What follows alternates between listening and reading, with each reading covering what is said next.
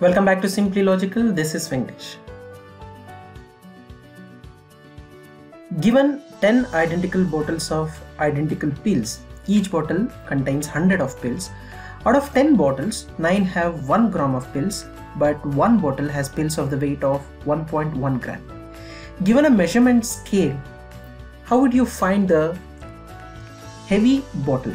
You can use the scale only once. So question can also be asked like what is the minimum number of ways required to find the bottle with the pills which is heavier? So let me repeat the puzzle. Given 10 identical bottles of identical pills, each bottle contains hundreds of pills. Out of 10 bottles, 9 have 1 gram of pills, but 1 bottle has pills of the weight of 1.1 gram. Given a measurement scale, how would you find the heavy bottle? Which means you are supposed to identify a bottle which is having an heavier pills, which measures 1.1 gram. The condition provided here is you can use the scale only once. So assumption should be made that the measurement scale which is given is digital and not analog. So this is one of the most commonly asked job interview puzzle. I'll present you the most logical way to get the correct answer. Pause the video and give a try before checking the solution and do not forget to comment if you found something very very interesting. If you are new to the channel, do subscribe to the channel and enable notifications so that you do not miss any of our videos. Let's check the solution now. Initially, this looks like a complicated puzzle, but this is a simple one if you know the logic. Since only 10 bottles are given, puzzle becomes more simple.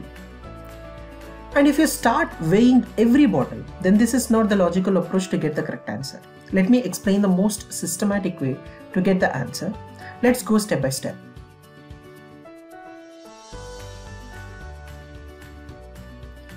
In the step 1, arrange the bottles on the shelf and now take one pill from the first bottle, two pills from the second bottle, three pills from the third bottle and so on. So remember this is the logic. If you know this particular logic and you can solve this puzzle with no time.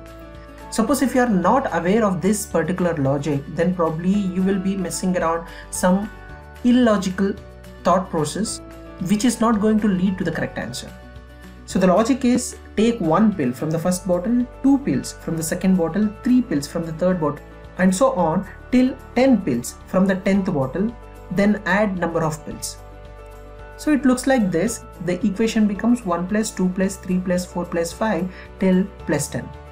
So this is sum of n natural numbers. In this case n is equal to 10.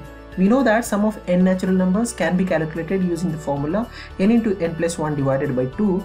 After solving the equation we get 55 you can count instead of using the formula but if number of bottles are more then it is better to go with the formula to find the sum of n natural numbers.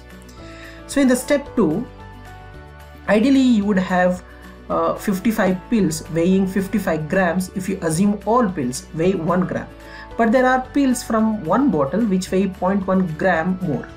So when you put the entire pile of pills on the weighing scale, the deviation from the 55 gram would tell you which bottle contains the heavy pills. In step 3, uh, you observe what is the deviation. That is, if the deviation is 0.1 gram more, uh, it is the first bottle which has heavy pills. It is because only one pill is picked from the bottle, one which will add 0.1 gram extra weight with 55.1 grams. Similarly, if the deviation is 0.2 gram more, then second bottle has heavy pills. It is because two pills picked from the bottle 2 which will add 0.2 gram extra weight with 55.2 grams. And if it is 0.3 grams more, then third bottle has heavy pills. If it is 0.4 gram more, then fourth bottle has heavy pills and so on. And finally, if the total weight is 56 grams, then 10th bottle has heavy pills. It is because 10 pills picked from bottle 10 which will add 1 gram extra weight with 56 grams. So in this way we can find the bottle with heavy pills logically using these simple steps. That's all for this video. If you have not understood the solution, do watch again. If you have any doubts, do comment. I will try to reply as soon as possible. Thanks for watching. Let's meet in the next video with one more interesting topic. Thank you.